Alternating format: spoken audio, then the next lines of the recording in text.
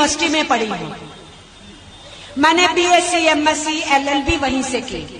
और जो मेरा पीरियड का पीरियड है पढ़ाई का, जब नरेंद्र मोदी की एमए की डिग्री बताते हैं, उसी पीरियड की बताते हैं बीए और एमए की।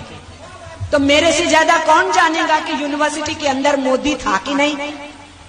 अरुण जेटली तो मेरे को कुलीग थे, विजय गोयल मेरे को कुलीग थे ये सब तो मेरे साथ ही पढ़ते थे, ये एबीवीपी में थे। मैं ऑल इंडिया स्टूडेंट फेडरेशन करती थी। मैं सभी एनएसवाई के एबीवीपी के एसवाईएस समाजवादी युव जनसभा के एसएफआई के आईएसएफ के सब नेताओं को जानती थी और जानती हूँ, जो अलग अलग जगहों पे नेतृत्व कर रहे हैं। मैंने जितनी डिग्रियाँ पास की, वो सारी हस्तलिखित है। क्योंकि उस जमाने में हाथ से डिग्री लिखी जाती थी। तो फिर नरेंद्र मोदी की डिग्री टाइप डिग्री कहाँ से आ गए पूछिए इनसे। इनसे ये पूछिए कि जब टाइप भी कराना था तो निकम्मो कम से कम सोच तो लेते। जो फॉन्ट टाइपिंग का कंप्यूटर पे फॉन्ट अभी हिंदुस्तान में, दुनिया में आया भी नहीं था, वो डिग्री उस फॉन्ट में टाइप करके उनको दी गई है।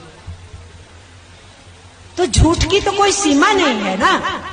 जिस रेलवे स्टेशन पे चाय बेचने का नाम लेके लोगों से हमदर्दी ली, वोट पाई तो हमारे जैसे किसी नागरिक ने रेलवे में एक चिट्ठी डाली, सूचना अधिकार, कि ये रेलवे स्टेशन कब बना?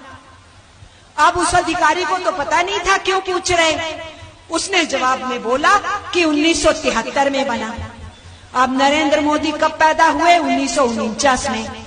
तो 1973 में वो कितने साल के हो गए? 24 साल के थे। तो वो रेलवे स्टेशन, जब ये 24 साल के हुए, तब वो रेलवे स्टेशन बना और वहाँ रेलवे गाड़ी रुकनी शुरू हुई। तो नरेंद्र मोदी ने उस रेलवे स्टेशन पे सात आठ साल की उम्र में चाय कैसे बेची?